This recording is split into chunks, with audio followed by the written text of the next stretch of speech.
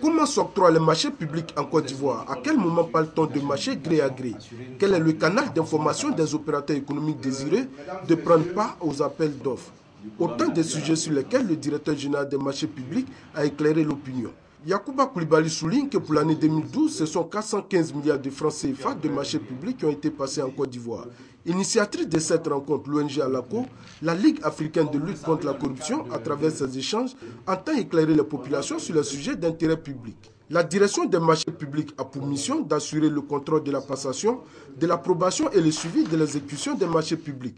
Elle veille à l'application du Code des marchés publics dans le cadre des commandes de travaux, fournitures et prestations passées par les services de l'État et des personnes morales de droit public ou privé soumises aux procédures des marchés publics.